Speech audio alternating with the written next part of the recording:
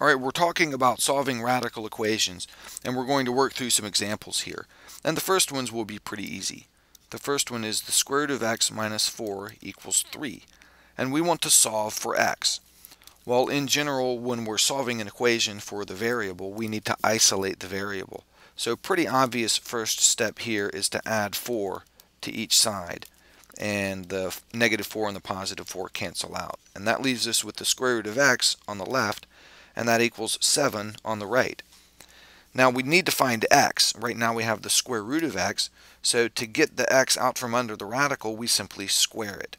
And so we have just squared the left side of the equation, so we also have to square the right side. Whatever you do to one side of an equation, you need to do exactly the same thing to the other side. So on the left, the square root of x squared is just x, and on the right, 7 squared is 49. And that's our answer. Not too bad. The next example is the square root of 2x plus 20 equals 8.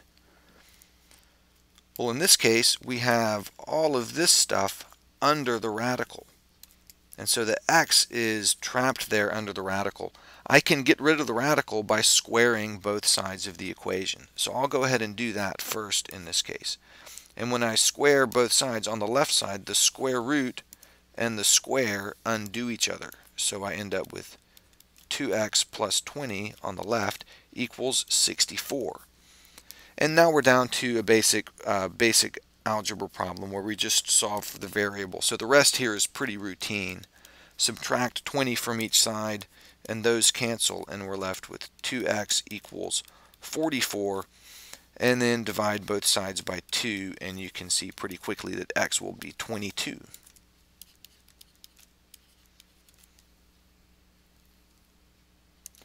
Alright, another example. The square root of 2x minus 5 over 7 equals 3. Now we have a fraction in here, but that's not a problem. That fraction is under the radical, but that's not a problem either. That's going to completely go away if I square both sides. The square root and the square undo each other, and it leaves me with 2x minus 5 over 7 on the left. And on the right I have 3 squared, which is 9. And from here it's pretty routine. Just multiply both sides by 7, and these 7's cancel, and that leaves us with 2x minus 5 equals 63 and then add 5 to each side and I get 2x equals 68 and then divide both sides by 2 and I get x is 34 and that's the answer. Alright, in the next one I have 4 times the square root of a equals 3 times the square root of 2. We're told to solve for a. Well, I could divide by 4 on each side, or I could square both sides. Either, either approach will work in this case. Sometimes there's more than one path to the correct answer. I'm going to start by dividing both sides by 4.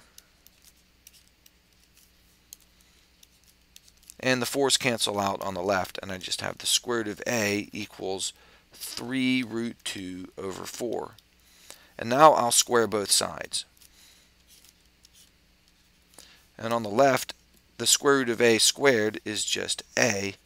And on the right, take note that the 3 will get squared, the square root of 2 will get squared, and the 4 will get squared. So the 3 squared is 9, the square root of 2 squared is 2, and the 4 squared is 16. So I have 9 times 2 over 16, that's 18 over 16, and that simplifies to 9 over 8. So A is 9 eighths.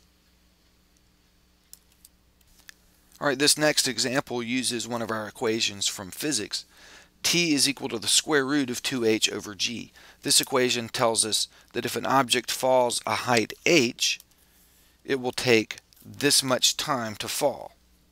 In other words, things take longer to fall farther, and this relates the time and the distance or the height that it falls.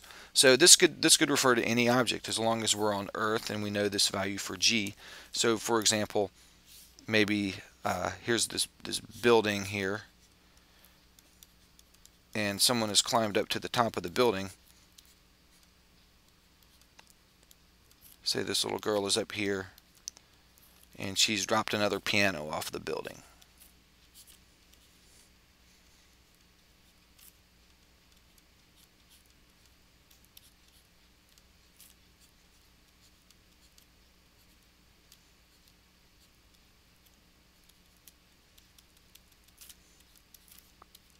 Okay, and so there it goes. It's falling down.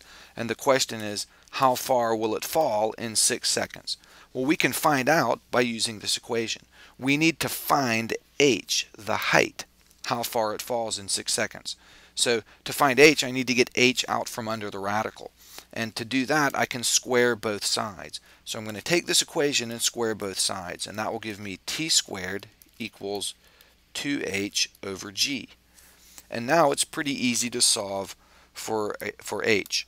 I'm going to multiply both sides by g, and over on the right the g's will cancel out. And I'm going to divide both sides by 2. So I'll put a divided by 2, and if I put a divided by 2 over here, this 2 up here will cancel out. And notice that that leaves me with h all by itself equal to this. So the, the algebra is done now. h is gt squared over 2.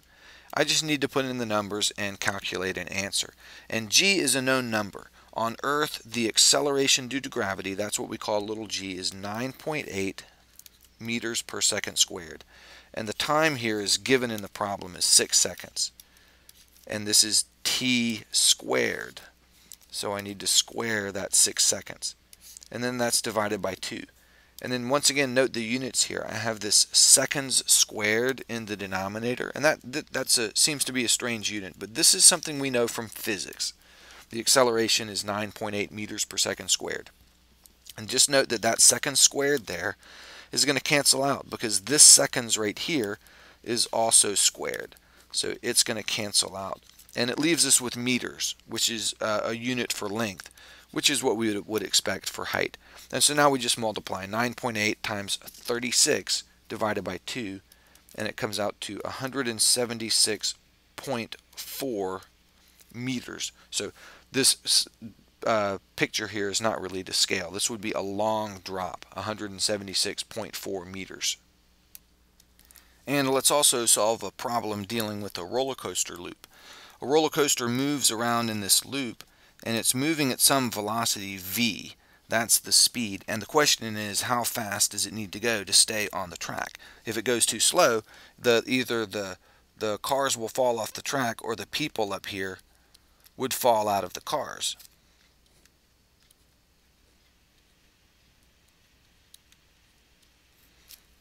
It needs to be going fast enough for them to stay on.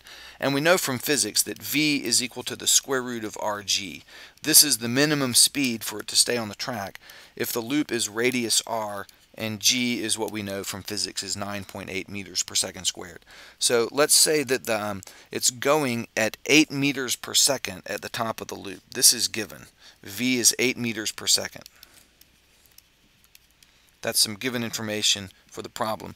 What should the radius of the loop be? That's what we don't know.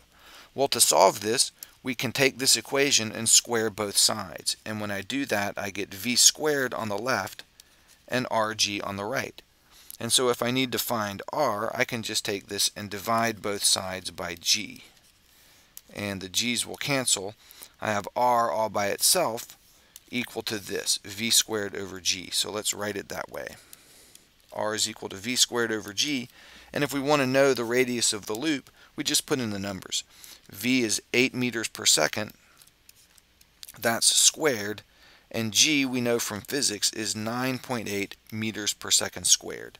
Now this second squared down on the bottom cancels with this second here because it is actually squared. So, and then notice we have this meters here, which is also squared. Oh, I shouldn't have crossed out the 2. The, the meters right there is squared, so one of those meters will cancel out with this one, and I'll, I'll be left with a single meter. So this comes out to 64 meters over 9.8 and then we can actually just do the division either by hand or on the calculator and we get 6.53 meters. If it's going to be moving at 8 meters per second, the radius of the loop should be 6.53 meters. Or you can make the loop a little bit tighter. This would be the maximum. If the loop were bigger than that, then you would need a faster speed for the cars to stay on the track.